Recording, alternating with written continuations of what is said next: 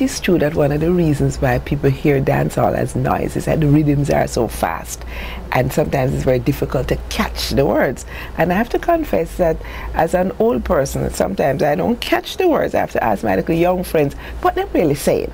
And once I can hear the words and I understand, but because of the speed of the delivery, you, you sometimes don't catch the meanings.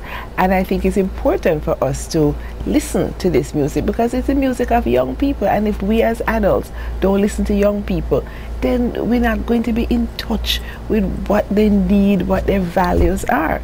That's why I invited Vybz Kartel to come to speak at the University of the West Indies last year because I teach a course at the university called Reggae Poetry.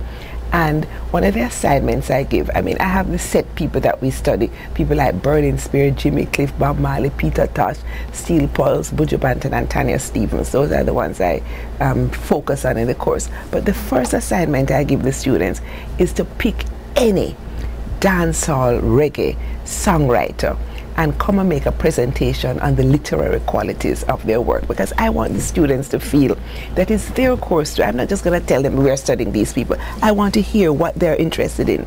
And every year I have several people who choose Vybz Kartel as a person to come and talk about. And I decided to invite him to come to the university, and it was incredible. Over 5,000 people came. I opened it up to the public because I know how popular he is, and he gave a very interesting talk on his whole development. And one of the things that struck me is that he said he got expelled from one of the premier high schools, Calabar, because he was always sculling school, as we say in Jamaica. I don't know if you use that expression here in Belize, but he was always missing school to go to the studio. And I kept thinking, you know, what if at Calabar there had been a music program that included a studio? What if going to studio had been on the curriculum? Would Kartel not have had the opportunity to be in the studio and also at school at the same time. So he's very bright, even without having gone, you know, very far. High school, more or less finished high school. And but why, why isn't Kartel in university? And I believe it's because the school system has not recognized the value of popular music as a means of reaching out to young people.